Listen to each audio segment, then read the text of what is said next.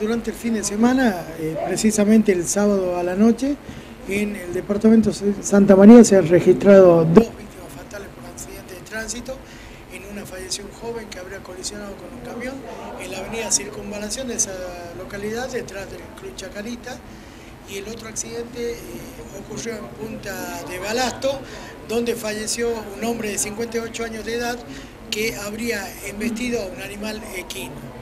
Ya las otras dos víctimas se registraron la madrugada del día domingo. Esto ocurrió aproximadamente a las 2.30 sobre ruta nacional número 40.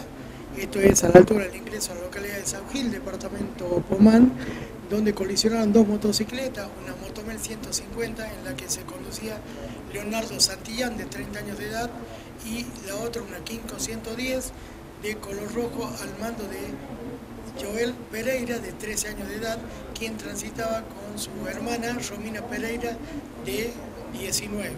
Todos oriundos de la localidad de San Miguel, departamento Pomán.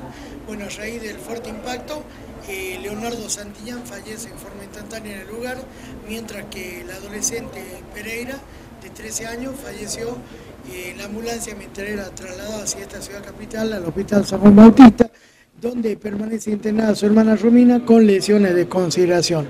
Y lamentablemente con eso se incrementó el número de víctimas por accidente de tránsito, que asciende a 81 víctimas en lo que va del año, superando el número en una víctima a lo de eh, ocurrido en el año 2012.